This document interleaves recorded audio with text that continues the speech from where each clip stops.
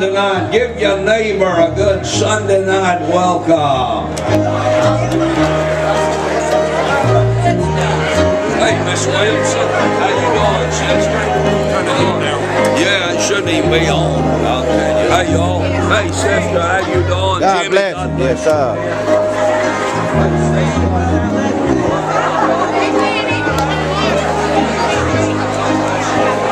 God bless you, ma'am. God bless you, sir. Hey, how you doing? Yes, sir.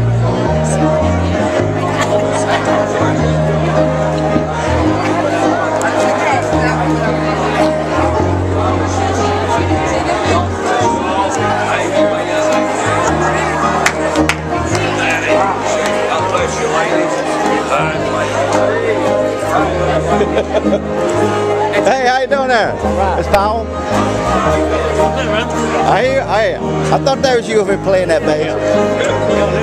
Yeah.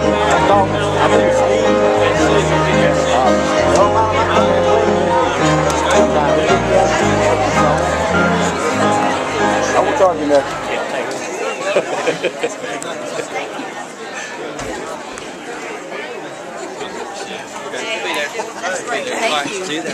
Amen. All right. Mate. All right. Shannon Williamson, you come on round, and Brother Steve, and they're going to do the special for us tonight. Hey, hey, Brandon. How you doing, You Brandon? didn't want to come? She's got the baby at home. Uh, hey, I'll tell you, you asked about it. Okay. Since tonight we do have some of the Dunn Moyers here, I think this song wasn't planned this way, but I think it'll be appropriate. Even when you got a dark time, he's still the light. Amen. He walks in those dark places. That's right.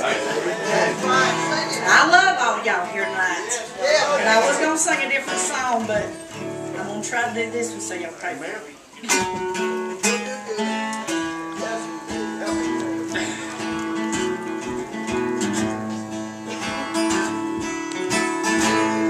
God walks the dark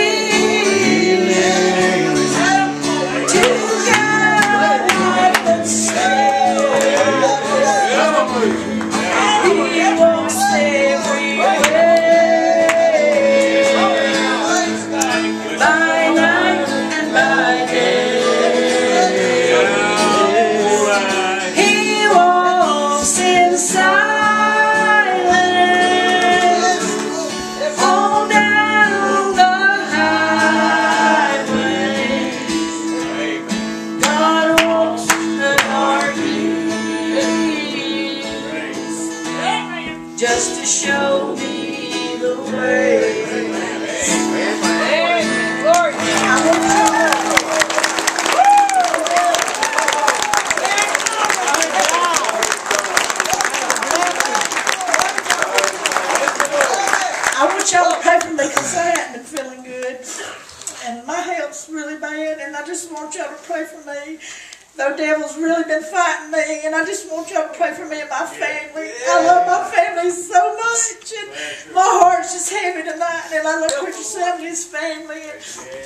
and heart's really heavy tonight. And I love all y'all so much. Amen, That's a good sister. job. You're definitely in our prayers. That's good.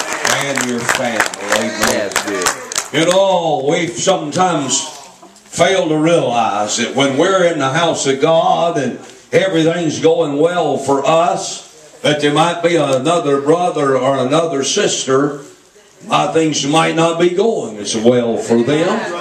We don't ever want to forget, pray one for another. The Bible tells us that. And one day you'll be the one on the receiving end. And you're going to need those prayers. So you need to be giving them up when you're not the one that's in need. So it'll come back to you when you are the one that is in need. Well, somebody asked me, and I know they were joking, but they said, after the service tonight, you are going to put the Super Bowl on the screens, aren't you? I said, yeah, I'll tell you what, just have a seat after the service or pick you out a seat where you can see real well. We'll cut the lights off so you can see, and we're going to leave. Like, Yeah. just leave them sitting there. That's kind of like spiritual snipe. Yeah. That's Anybody know what I'm talking about? Oh, yeah. Amen. Turn with me tonight to Psalm number 95. Psalm number 95. Uh, so, as I told you this morning, um, uh, not tonight since I did it this morning, but for the next few Sunday nights, uh, I am going to do a series on what the Bible says about finance and money. And I'm not just talking only about the subject of tithing, but how God will bless you. And I know a lot of people don't even want to hear the word tithe, but it is in the Bible. Amen. But I'm not going that route. I'm just talking about things that will help you. See, the Bible not only deals with eternal life and spiritual things, but God wants you to be blessed uh, in this life and be happy now. Amen. So we'll share some of those things with you. Uh, but tonight, uh, since I'm normally going to do it on Sunday night, but I knew it was supposed to rain, knew we had a lot of sickness and uh, this thing they call a ball game going on tonight, so I did it this morning. So, uh, but starting next week, we'll be back on that for a few Sunday nights. Psalm number 95. Would you stand tonight? As we do honor and reverence God's Word, and I'm so appreciative of you being here tonight. I promise we're not going to keep you long in case anybody still might actually be a football fan No. Whatever that is. Psalm number 95 and verse 1, the Bible says, Oh, come, let us sing unto the Lord. Sister, that's what you just did tonight. Choir, that's what you just did tonight. Uh, we came, we gathered together, we tried to become one in the sight of God and be in unity, and we've offered up uh, some praise to God through song. Oh, come, let us sing unto the Lord. Let us make a joyful noise to the rock of our salvation. Now, listen, now, sister, you did a good job, and uh, we got great singers here, but I've never laid claim to be much of a singer. I got a bullfrog voice. You know, the Bible said you don't have to sound with perfection and you don't have to be one that hits every note. The Bible said, as long as you come and make a joyful noise to Him, God would be pleased. Oh, I'll eventually read the verse. Oh, come, let us sing unto the Lord. Let us make a joyful noise to the rock of our salvation. Let us come before his presence with thanksgiving and make a joyful noise unto him with songs. For the Lord is a great God and a great King above all gods, little g O D S. In his hand are the deep places of the earth. The strength of the hills is his also. The sea is his, and he made it, and his hands formed the dry land. Oh, come, let us worship and bow down. Let us kneel before the Lord, uh, our Maker. For he is our God, and we are the people of his pasture and the sheep of his hand. There's a word in verse 6 that caught my attention. To these that are not very spiritually discerned, it would sound like something very elementary. But in the word in verse 6 you'll find the word worship. Can I tell you tonight that there's some people that have been at church many times, but they probably never one time worship. I want to speak to you a little bit tonight. I don't have some catchy title or uh, anything like that tonight. I just simply want to speak to you tonight about worship. What it is, why we ought to do it. Let's look at that subject tonight. We'll let you out in plenty of time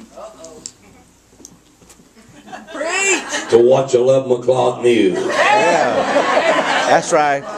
No, we won't. Our Father, we bow tonight in your presence. And Father, we come before you, as the Bible said, uh, and God, we tried our best tonight to follow the pattern uh, every service uh, of Psalm number 95. Uh, Lord, we come. uh, we realize that there's a certain place uh, that we need to gather. And God, you told us in the Word of God not to forsake uh, the assembling of ourselves together to worship. And God, then we come and we sing praises unto you. And God, we come in the house of God tonight, as the psalm also said, with thanksgiving. We thank you, God, for every answered prayer. Thank you, God, for everything you've done for us. God, you've been so good. Even though, Lord, we haven't always been good toward you, you've always been good uh, uh, toward us. Uh, and Father, we look on in the Bible tonight and see that the God we're serving uh, is not some puny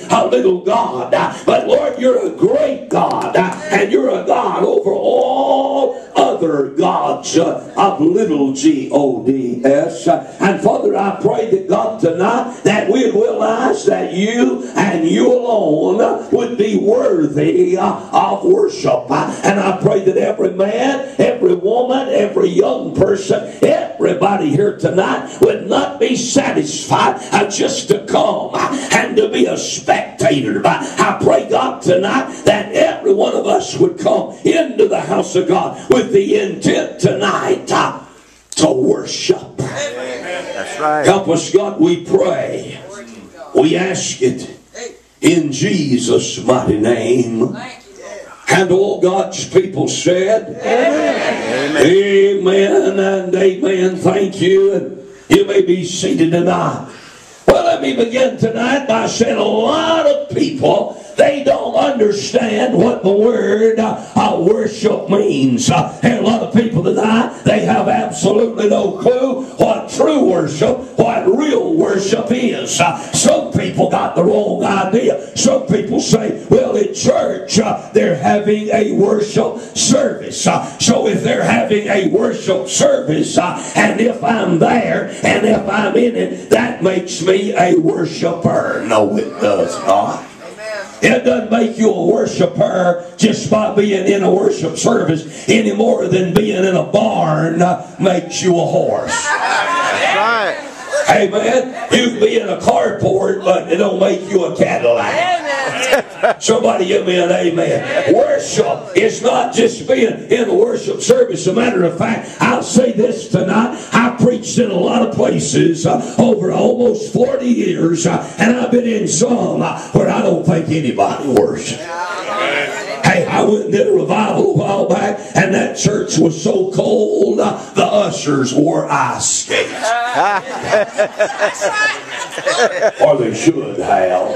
Right. You know, always, you never know on Super Bowl Sunday night what might happen. I told a story one time about this preacher, and he told that crowd, he said, All right, now don't you turn out to be a bunch of hypocrites. You be in church tonight, even if it is Super Bowl Sunday night. There was one deacon, he knew he couldn't be absent, but boy, he was a football fan. He took him a transistor radio put it in the back of his pants, run the wire up his shirt.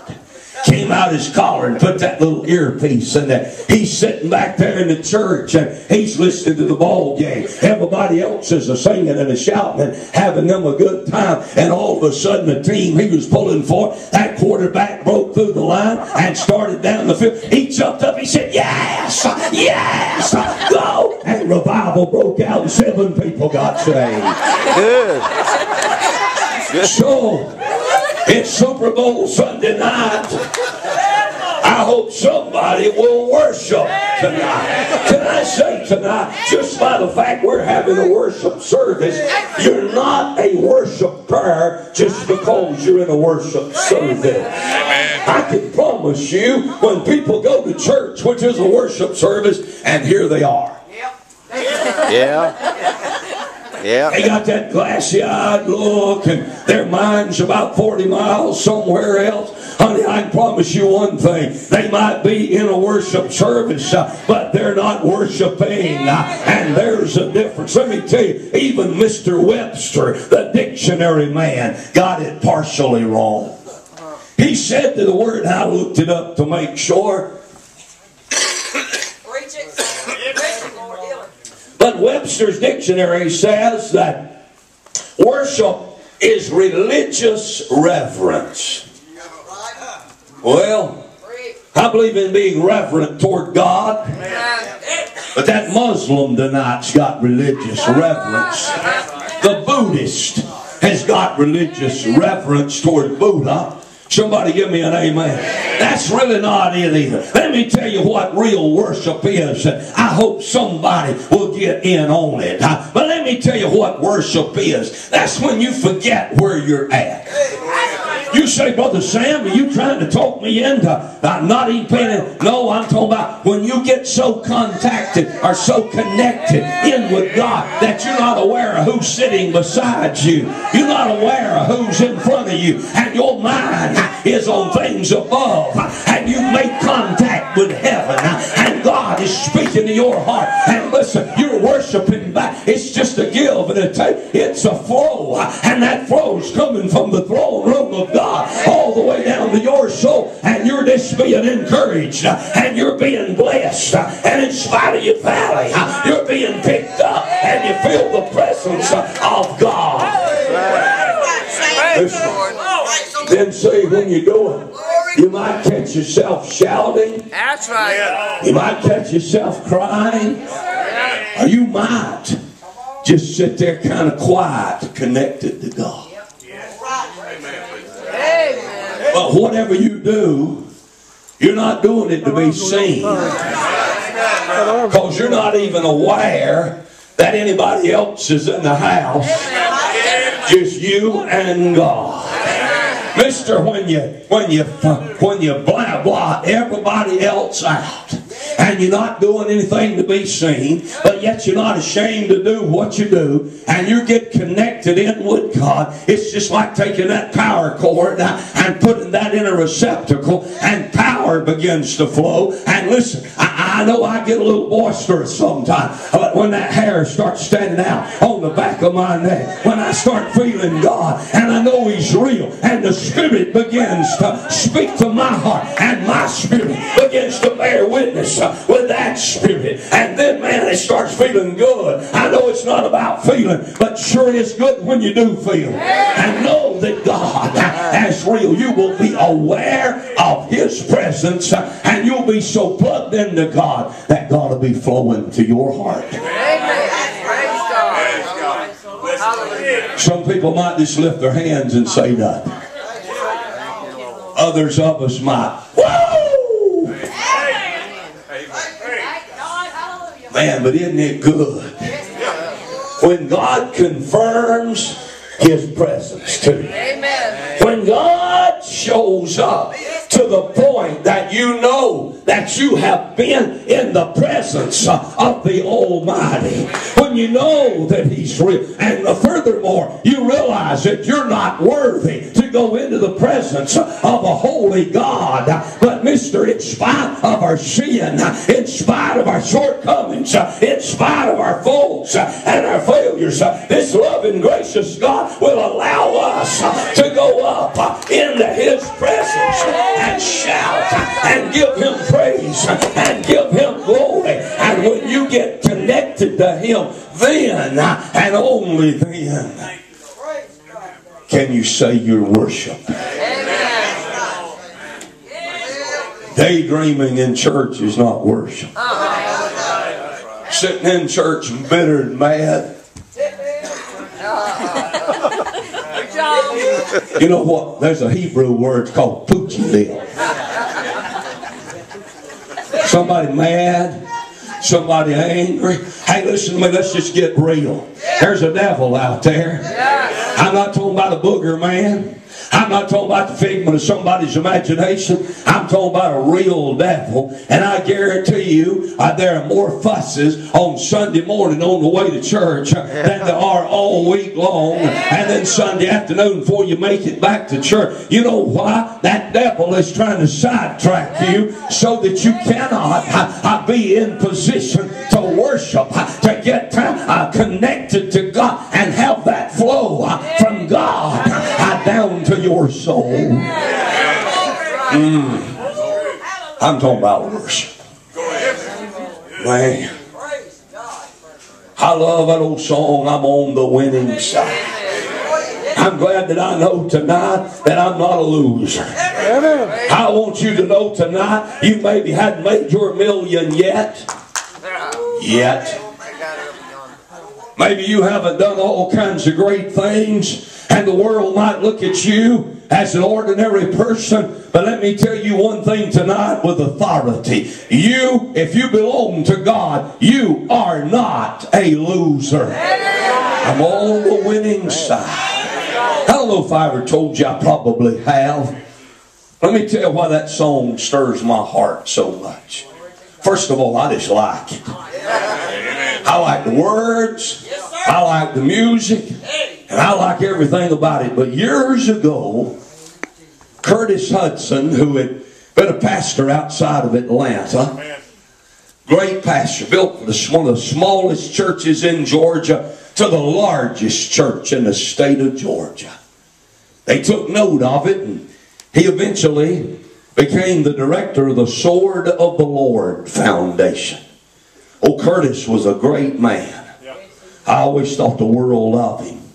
Well, Curtis ended up with cancer. They finally told him, said he had told him and his family that he's not going to live. He didn't have long. So they sent out and I was so privileged, and it, I do say privileged. I'm not saying this thinking I'm somebody. I'm nothing but old sinner saved